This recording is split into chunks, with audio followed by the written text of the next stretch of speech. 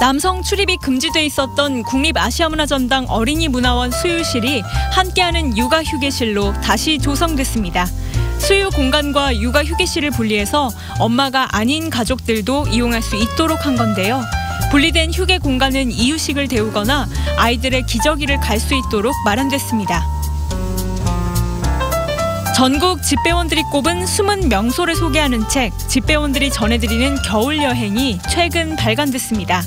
곳곳의 소식을 전하며 알게 된 일출 명소와 온천, 야경 명소 등 100곳이 실렸다고 하는데요.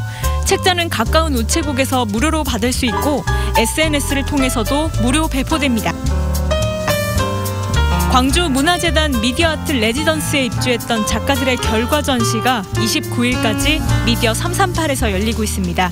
온고지신의 의미를 돌아보는 미디어 작품부터 한글에 집중한 작품, 각종 성탄절 이미지를 조합한 작품까지 개성 강한 여섯 팀의 작품들을 한눈에 살펴볼 수 있습니다.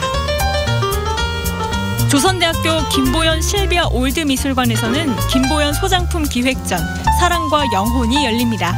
김보연 화백이 조선대학교에 기증한 작품 400여 점 중 사랑과 영혼을 주제로 한 작품들을 감상할 수 있고요.